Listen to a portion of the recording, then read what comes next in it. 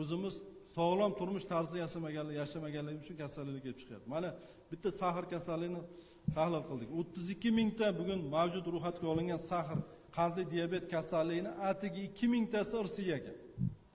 Ya'ni nasldan naslga o'tuvchisi atigi ikki mingta ekan. o'ttiz mingtasi hayot turmush darajasi davomida o'ziga yuqtirib olgan siqilgan noto'g'ri ovqatlangan semirib ketgan kam harakat bo'lgan haligi zararli odatlarni avjini oldirib yuborgan ko'paytirib mana shuni oqibatidan o'ttiz ming tasavvur qiling.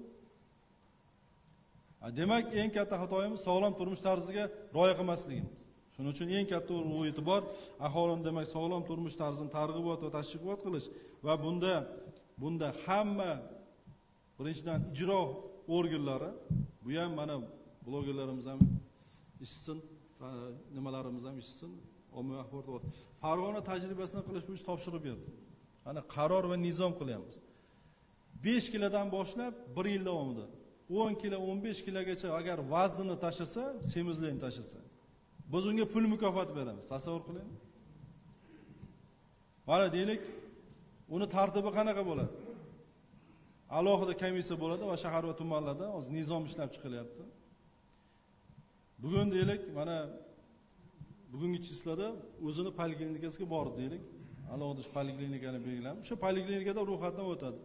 Bugungi borgan vazni deylik yuz kilo yuz ellik kilo. Registratsiyadan o'tib qo'yadi. Mana bugun ikki ming yigirma birinchi yil yigirmanchi kuni bordim. Vaznim bir yuz o'ttiz kilo edi. Olti oydan keyin agar besh kiloga kamaytirsa shunga hozir endi aytishimiz mumkin ikki yarim million eng kamida besh yuz mingdan bir kiloga besh yuz ming beramiz. Tasavvur qiling kulgi yo o'zi yo o'zi kulgilik lekin shunaqa qilmasa bo'lmaydi. Bu ham farg'ona tajribasi bo'ladi. Besh kilo vес tashlasa ikki yarim million pul beramiz o'n kilo tashlasa besh million pul beramiz a undan keyin unga pul berish hojati yo'q. O'zi ham o'n kilo tashlasa bilasizmi yengil bo'lib qoladi. Hayotga ko'zlari ochiladi. Umuman dunyoga boshqacha ko'z bilan qarashni boshlaydi bu tagida shu ma'no yotibdi xolos. И qolaversa barcha ijro organlari barcha birinchi navbatda mana shu o'zi mas'ul bo'ladi.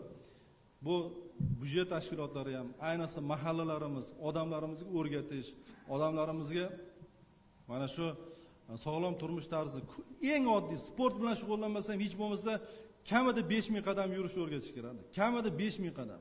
o'n ming qadam yursa qanaqa sog'lom bo'ladi besh ming qadam yursa qanaqa bo'ladi ming qadam yursa qanaqa bo'ladi? Shuni farqini odamlarimiz tushuntirib olish kerak. Bu eng oddiy narsa.